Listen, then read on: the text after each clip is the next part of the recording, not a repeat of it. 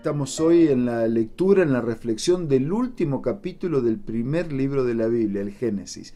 Después de la muerte de su padre Jacob, José proporcionó su embalsamamiento y obtuvo el permiso de Faraón para enterrarlo en Canaán. Una enorme comitiva de la familia de Jacob y muchos egipcios hicieron la peregrinación al entierro de Jacob. Con la muerte de su padre, los hermanos comenzaron a preguntarse si José estaba simplemente esperando el momento oportuno para vengarse de ellos. Por eso decidieron disculparse nuevamente por sus pecados pasados.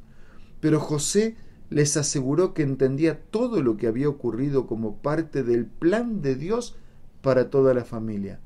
Aunque lo hubieran perjudicado, Dios había usado todos los acontecimientos para preservar a la familia.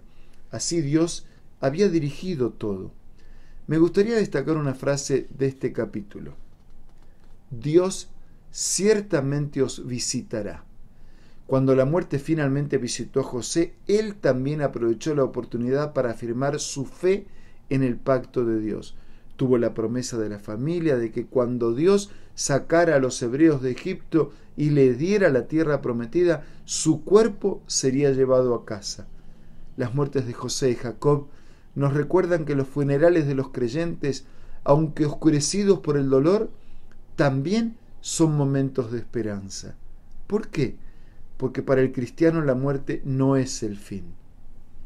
Otro tema muy importante de este capítulo es el perdón ofrecido por José a sus hermanos. ¿Qué fue lo que permitió que José perdonara tan libremente? Su perspectiva de la vida, su comprensión de quién era Dios. José comprendió que sus hermanos habían deseado perjudicarlo, pero también entendió que Dios había usado a sus hermanos para alcanzar un fin bueno e importante. José fue capaz de ver el pecado de sus hermanos desde una nueva perspectiva. Es impresionante ver que José vivió gobernado por la fe y por eso vio la mano de Dios, incluso en las circunstancias más desalentadoras.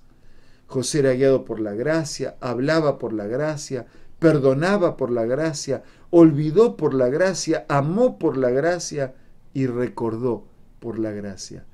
Por la gracia cuando los hermanos se postraron ante él con miedo pudo decir, tranquilos, Dios transformó el mal en bien Dios es capaz de transformar las tragedias en bendiciones, las lágrimas en sonrisas, la tristeza en alegría. Y aunque Él no lo haga en este mundo, en la tierra nueva tendremos alegría suficiente para eliminar toda señal de tristeza.